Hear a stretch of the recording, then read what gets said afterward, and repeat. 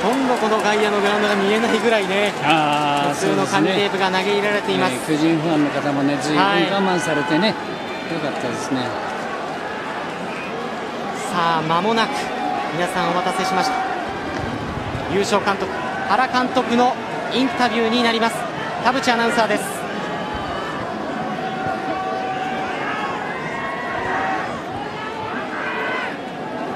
神宮に詰めかけたジャイアンツファンの皆さん大変長らくお待たせいたしました。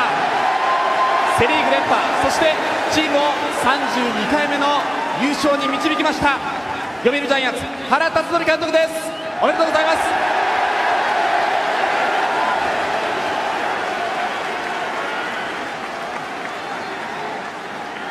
大歓声です。まずは率直な今のお気持ちお願いいたします。いやーすごい選手たちですね、本当にもう素晴らしい最後まで諦めずに戦ってくれたメンバー、まさにあの歴史を作り、そして伝説を作ったと思います。昨シーズンに引き続いての胴上げということになりましたけれども今シーズンは8回宙を舞いました。その時どんなお気持ちで宙を舞ってらっしゃったんですか？そうですね、あの今年のタイガースは非常に強くて、あの前半、えー突き放されまして、まあ、しかし、チームも崖っぷちの中ですね、えー一人も諦めることなく戦ったと、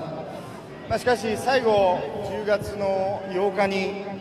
えー相手のタイガースの監督であります岡田監督と、えーメンバー交換しました、その時に、まあ、ついにここまで来たなと。とにかくいいゲームをしようと。監督岡田監督が僕に言ってくれまして、まあ、あの本当に勝負というものの厳しさというかあ覚悟というかそういうものを本当に感じさせてくれた素晴らしいペナントだったし、まあ、タイガースの戦いも含めてですね、えージャイアンツはそれに勝てたというのは非常に大きな意義があると思います。まあ、今、タイガースという話も出ましたけれども、まあ、今シーズン振り返ってみれば最大で13ゲームという差がありました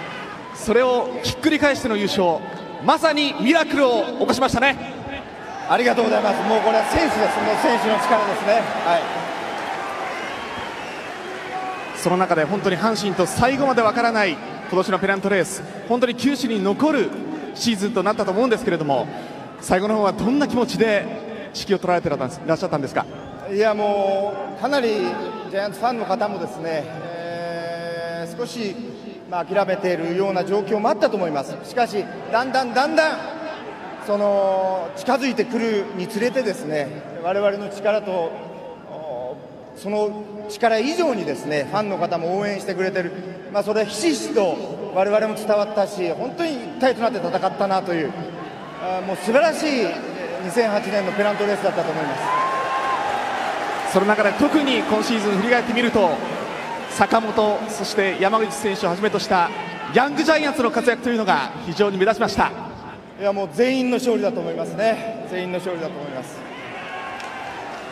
さあ見事32回目のリーグ優勝を飾りました。こうなってくると次のステージへクライクライマックスシリーズを迎えます。それに向けてファンの皆様へ強い意気込みをお願いいたします。もうまだですねそのクライマックスがどうだというよりもですねもうこのペナントレース143試合目に決められたということがですねもう監督としてもほっとしているしここはもうファンの皆さんとですね大いに喜びたいと思います。本当にありがとうございました。見事優勝を決めました原辰徳監督でした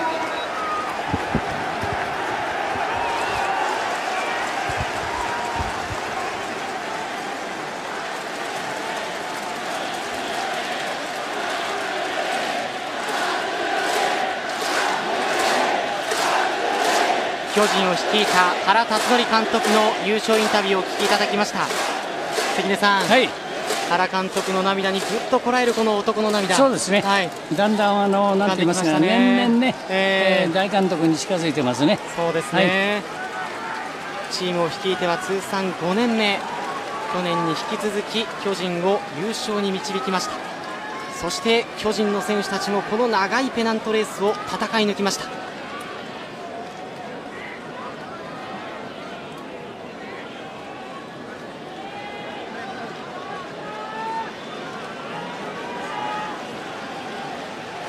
このファンの喜びそして選手たちの喜びというのはもう本当に計り知れないものがあると思います。